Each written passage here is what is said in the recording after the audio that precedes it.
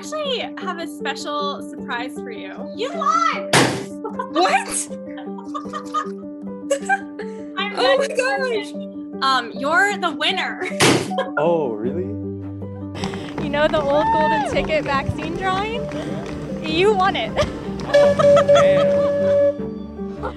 you won the old golden ticket. You have any idea?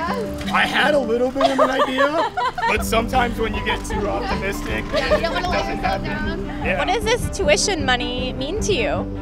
It means a lot. Obviously, out of state tuition is expensive, so this will definitely go a long way to helping for a year. You mentioned your mom. Uh, she might cry. Uh, she did like a lot of uh, she did a lot of things for me going to college. She's probably the only reason I really came to college, to be honest with you. Like I didn't know how to. Uh, she applied for like FAFSA and stuff like that for me. She's been a really good influence on me. We have a special surprise for you.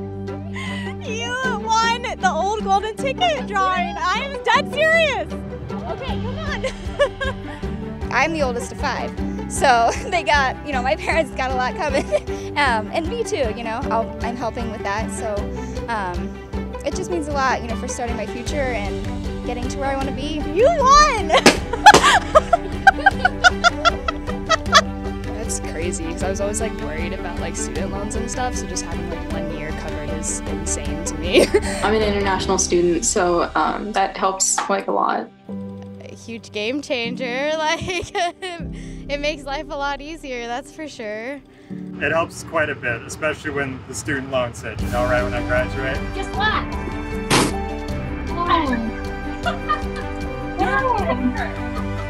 My dad lost job, so yeah, it it means a lot to me because it will actually give me a lot of opportunities. Um, just it means a lot to me.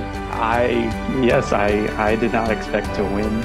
Um, it'll help ease like some of the burden on my parents. I know they're helping me through with college. So this this will mean a lot to them, and I'm also trying to make my own money so that after college I can hopefully pay them back. So